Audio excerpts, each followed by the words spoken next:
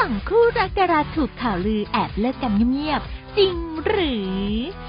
หลังจากที่มีกระแสข่าวมามีคู่รักวัยวาวุ่นไม่ลงรูปคู่ แม้วันวาเลนไทน์ก็เงียบกริบ ซึ่งเพจดังเนี่ยโยงไปถึงคู่ของนักแสดงสาวก้าวสุภัสรากับชาวชาวลิต จนแฟนคลับหลายคนจับตาว่าทั้งคู่นั้นเลิกกันแล้วจริงหรือ นอกจากนี้ก็ยังมีอีกหลายคู่ที่ถูกจับตามองว่าเลิกกันแล้ว จะมีคู่ไหนบ้างที่ถูกจับตาไปส่องกันดูจ้า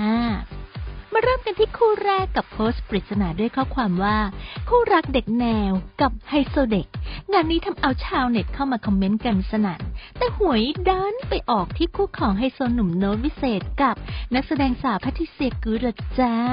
ที่ถูกจับตามองเป็นพิเศษ เนื่องจากคู่เนี้ยเขาไม่ค่อยอวดโมเมนต์หวานๆออกสื่อ แถมรูปคู่ก็มีเห็นน้อยน้อย บวกเมื่อไม่นานมันเนี้ยก็มีข่าวลือ ว่าไปลบรูปในไอจีทิ้งด้วย ส่วนแม่สาวแพทริเซียก็ไม่รอช้ารีบออกมาเคลียร์เรื่องความรักว่าแฮปปี้ดี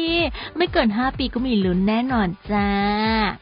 มาที่คู่รักเจเจกฤษณภูมิกับต้านเนิงกันบ้างนะจ๊ะ ก็เป็นอีกคู่ที่ถูกโยงวันเลิกกันแบบเงียบ หลังจากเพจดังออกมาโพสต์อีก ว่าเป็นปริศนาข้อความนะจ๊ะว่า คู่รักวัยวาวุ่นแล้วก็แฟนตีไรรูปคู่วันวาเลนไทน์ที่ผ่านมาทำเอาเหล่านักสืบโซเชียลเนี่ยต้องลงมาทำการบ้านกันไม่หยุด และหนึ่งในนั้นก็คือชื่อของหนุ่มเจเจกับสาวต้าเหนิงละจ้า ที่ก่อนหน้านี้มีอาการง้องง้องงอนงอนกันมาแล้ว งานนี้หนุ่มเจเจไม่รอช้าก็ยืนยันความรักของทั้งคู่ว่ายังปกติ โดยการเข้ามาแซวแฟนสาวในภาพที่ต้าเหนิงนั้น ได้มีการไปร่วมถ่ายแฟชั่น จนมีคนเข้าไปคอมเมนต์ต่อท้ายเจ้าตัวเป็นจำนวนมากปิดท้ายที่คู่รักของแพรวานิชาพัฒน์กับนักแสดงหนุ่มหล่อ หน่องธนา ที่หลังจากมีเพจดังได้ออกมาโพสต์ข้อความปริศนาว่า